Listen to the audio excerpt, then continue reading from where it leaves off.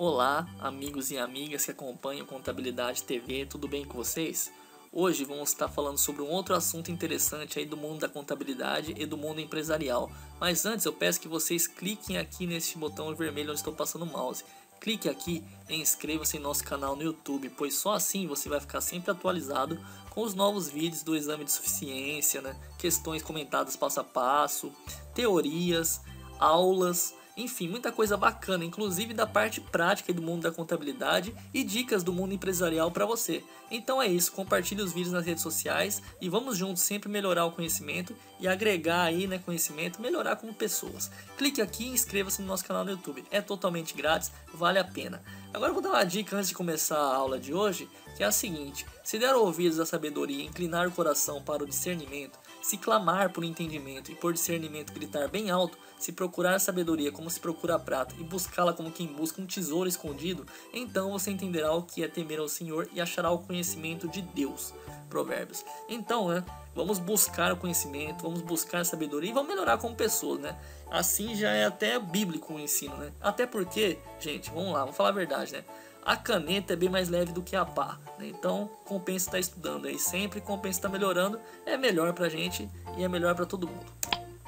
Curta também nossa página no Facebook, www.facebook.com.br contabilidade TV. Muita coisa interessante tem lá, contadores, acadêmicos, enfim, só gente bacana tá na nossa página no Facebook, vale a pena estar tá conferindo, é grátis, então curta a nossa página. Bom, pessoal, hoje vamos resolver a questão número 46, que fala aí sobre perícia contábil, mais especificamente sobre a NBC PP 01, levantamento dos honorários. Essa questão 46 caiu no primeiro exame de suficiência de 2015, na prova de bacharel. Vamos resolvê-la juntos. 46, de acordo com a NBC PP 01, perito contábil, em relação ao levantamento dos honorários e execução de honorários periciais, julgue os itens abaixo e, em seguida, assinale a opção correta.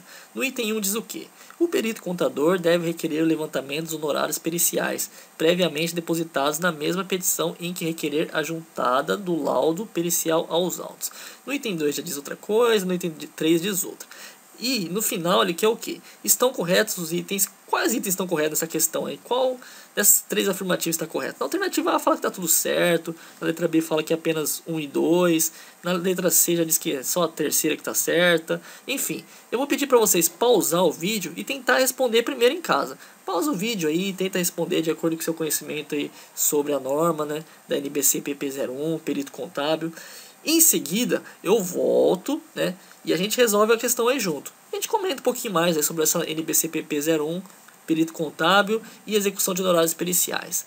Tenta responder, daqui a pouco eu estou de volta.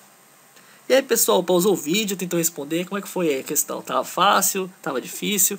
Vamos lá aqui ver a a afirmação 1, o que, que diz, né? A afirmação 1 fala assim: o perito contador deve requerer o levantamento dos honorários periciais, previamente depositados na mesma petição em que requerer a juntada do laudo pericial aos autos. Bom, de acordo com o NBCPP 01, aprovado pela resolução do CFC, né, mais especificamente a resolução do CFC 1244, lá do ano de 2009, que foi revogada pela NBCPP 01, né, ela diz assim, mas em ambas assim elas trazem as mesmas afirmações sobre o levantamento dos honorários. E diz o que? Levantamento dos honorários. O perito contador deve requerer o levantamento dos honorários periciais, previamente depositados na mesma petição em que requer a juntada do laudo pericial aos autos. Então o item 1 é verdadeiro. É, é, tá caindo muito assim no exame de suficiência, né? Eles vão lá na norma, né? Aqui eles praticamente fizeram copiar e colar no item 65 aí da norma, da NBCPP 01. Então, né? Eles estão fazendo muito isso com auditoria, um copiar e colar. Com perícia também está diferente. No código de ética também. Então, assim, eles vão lá, copia e cola. E depois quer que você afirma se é verdadeiro ou falso aquilo lá. Está sendo muito comum esse tipo de alternativa aí no exame de suficiência. Sendo assim, como o item 1 da questão nada mais era do que uma cópia do item 65 da norma NBCPP 01, então está corretíssimo o item 1. Já o item 2 diz o quê? Na questão fala: o perito contador deve requerer a liberação parcial dos honorários quando julgar necessário, para o custeio de despesas durante a realização dos trabalhos. Bom, no item 66 da norma fala: o perito contador pode requerer a liberação parcial dos honorários quando julgar necessário para o custeio de despesas durante a realização dos trabalhos. Sendo assim, né, o item 2, a norma diz que o perito pode requerer. Repara aqui, né? Ele diz aqui, ó, o perito pode requerer a liberação parcial. Mas o item da questão traz a palavra deve requerer, né? O que muda o sentido da sentença. Com isso, julgo passivo de anulação. Apesar que eles consideraram correta essa questão aqui, né? O item 2 eles consideraram correto. Mas se você reparar, ela estava um pouco errada, né? Porque a questão 2 fala aqui, né?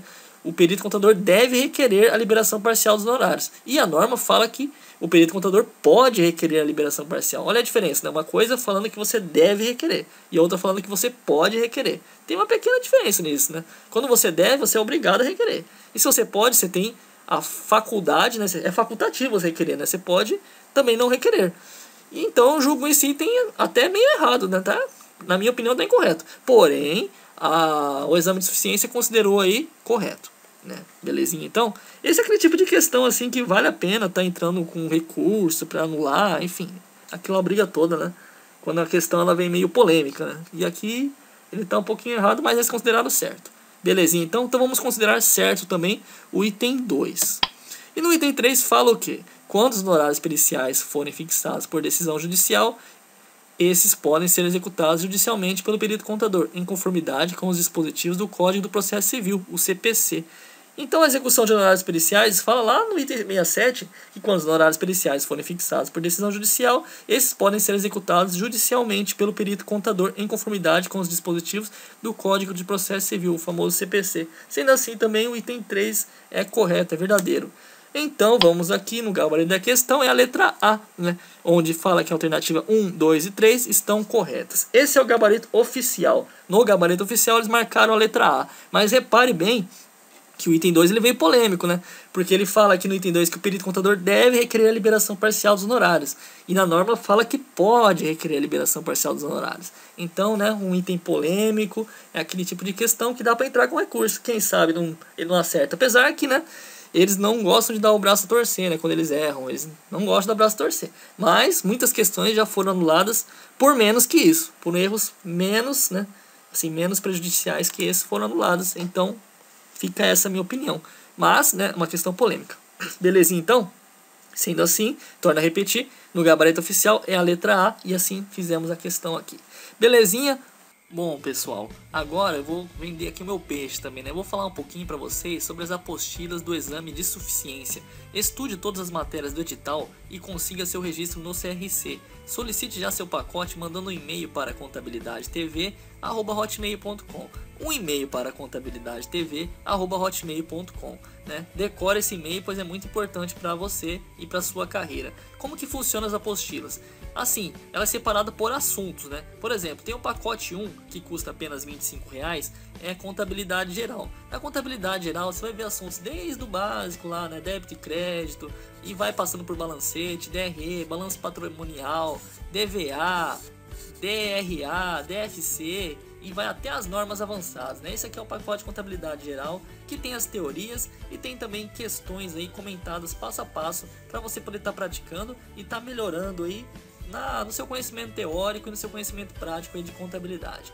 Tem o pacote 2, que é a auditoria, segue no mesmo estilo. Tem as normas de auditoria, né? Aí você vai estudando, tem exercício para você poder praticar, exercício do exame de suficiência, exercício de concurso público, enfim, você consegue praticar muito mais, né? Olhando a apostila de auditoria e acompanhando os vídeos do nosso canal Contabilidade TV juntos. É um complemento, na verdade, né? Uma coisa ajuda a outra. Quanto mais material, melhor para você. Aí tem o pacote 3 que é 25 reais também, é contabilidade e custos. O pacote 4 também sai a 25 reais, apostilas de ética. Controladoria é o pacote 5. Análise das demonstrações contábeis é o pacote 6. O pacote 7 é o direito tributário. O pacote 8 é o departamento pessoal. O pacote 9 fala aí sobre questões comentadas. Vou dar ênfase aqui nesse pacote 8, departamento pessoal. Ele fala aí sobre as rotinas do departamento pessoal. Ele traz a CLT, né, consolidação das leis trabalhistas, traz assim como que faz para você fazer registro em carteira. Então é um pouco meio prático também. Essa apostila de departamento pessoal vale a pena você estar tá conferindo, né? E assim, o pacote 10 nada mais é do que todas as nove apostilas juntas, né? Vamos supor que você queira comprar apenas o pacote 1, que é contabilidade geral, e o pacote 2, auditoria. Então você iria mandar um e-mail para contabilidade.tv@hotmail.com e falar para mim assim: é, Léo, eu quero a apostila de contabilidade geral e auditoria, né? O valor é 50 reais, né? Porque é o pacote 1 e o pacote 2, cada uma custa 25 reais. Então, somando os dois, né, você iria pagar 50 reais apenas por essas duas apostilas. E assim por diante, né? Você escolhe o pacote que você desejar. E assim, mais eu recomendo mesmo você estar tá comprando todas, né? Porque no exame de suficiência é cobrado todas essas matérias aqui.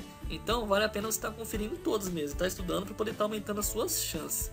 E assim, se você fosse comprar todas as apostilas, como são nove, você iria pagar 225 reais. Mas eu estou fazendo uma super promoção aí que vai sair por apenas R$ 169,99 todas as apostilas, né? Então ao invés de pagar 225, você paga apenas R$ 169,99 e ainda leva por cima grátis todas as NBCTG e provas de exame de suficiência para você poder estar tá praticando em sua casa. E a gente tem um diferencial que a concorrência não tem, que são esse suporte de vídeos gratuitos no YouTube. Então, assim, eu recomendo você estar tá comprando as apostilas, estar tá estudando elas em casa, assim, né, e continuar vendo os vídeos no YouTube que a gente que eu faço aqui, né? Que na verdade, quando eu falo a gente, eu faço tudo sozinho esses vídeos, né? Até por isso eu comecei a vender essas apostilas, para ver se consegue assim, eu consigo te passar um material melhor para você estar tá estudando e você também de certa forma me ajuda, né, a estar tá mantendo o canal, porque eu faço ele todo sozinho, né? E assim, o que, que é o esquema? Como que vai ser o jeito aqui então? É, você vai pegar, continuar assistindo os vídeos que vai ser sempre grátis no YouTube, né? Mas assim, tem alguma dúvida, assim, você vai lá consulta teoria nas apostilas, você não tem dúvida, você quer praticar mais, então você pega as apostilas e pratica ela, porque até porque ela tem questões de concurso público, questões de exame de suficiência para você poder praticar. Então é isso, né? Uma coisa complementa a outra. A apostila complementa os vídeos e daí por diante, né? E você vê pelos depoimentos que muita gente já gostou, né? Por exemplo, aqui a Fernanda Revelhax, ela fala: "O Contabilidade TV não é somente 5 estrelas, é 10 estrelas. É nota 10 mil. Estudei muito pelo site e cada dia aprendo mais. Vale a pena, recomendei para todo mundo na minha faculdade, né? Facul. Comprei as apostilas e gostei muito. Super recomendo, gente. Então você vê que o pessoal tá recomendando aí, muita gente comprou, já passou no exame de suficiência, né? E assim, todos esses depoimentos estão na nossa página no Facebook, na minha página no Facebook. Quando eu digo nossa é porque, né, é sua também. Você que assiste também pode participar lá, né? E, e tá lá, né? Os depoimentos, o pessoal tá gostando. Aqui mesmo no YouTube você vê os comentários, o pessoal tá gostando, né? E vale a pena conferir, né? As aulas, a Yara diz também. E vale a pena conferir as apostilas. Então é isso, né?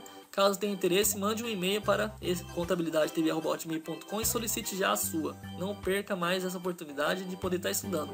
Até porque a gente tem que estar tá incentivando e sempre praticando os estudos, né? Porque o conhecimento é uma coisa que nenhum ladrão pode roubar da gente.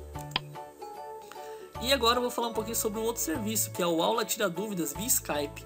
A aula Tira Dúvidas via Skype é o seguinte, caso você tenha algum trabalho na faculdade, não está conseguindo fazer, ou então se tem alguma questão assim que está com dúvida e não consegue fazer, ou até alguma aula mesmo que você viu os vídeos, não esclareceu, não achou que ficou claro na, por meio de apostila e livros, alguém não conseguiu te explicar e você quer essa explicação, então você agenda uma aula Tira Dúvidas via Skype. A aula Tira Dúvidas via Skype tem que ser solicitada também pelo e-mail contabilidadetv.com. Você manda um e-mail para mim e fala que você quer agendar uma aula Tira Dúvidas. A gente marca uma data, vê o tema certinho, né? O exercício que você quer que seja esclarecido, ou aquela orientação do trabalho, uma consultoria, enfim, né? Aí a gente agenda, você faz o depósito, depois a gente marca um dia para a gente poder estar tá fazendo. Como que funciona essa aula? Na aula Tira Dúvidas via Skype, eu converso com você em tempo real, né? Para quem conhece o Skype sabe como é que é, né? Você conversa em tempo real com a pessoa, é como se eu estivesse aí do seu lado mesmo.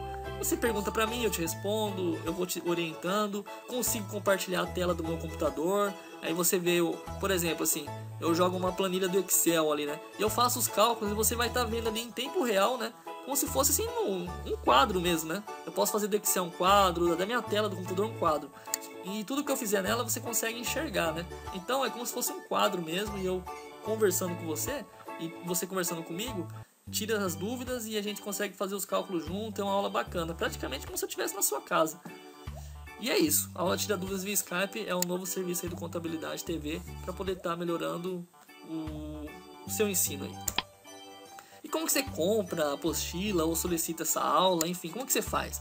Você vai estar tá mandando um e-mail, torna a repetir, né? Esse e-mail de vermelho aqui, contabilidadetv@hotmail.com. Escreve um e-mail lá, né? E-mail todo mundo tem, escreve um e-mail e solicita seu pacote. Em seguida, você receberá as instruções para poder fazer o depósito no banco.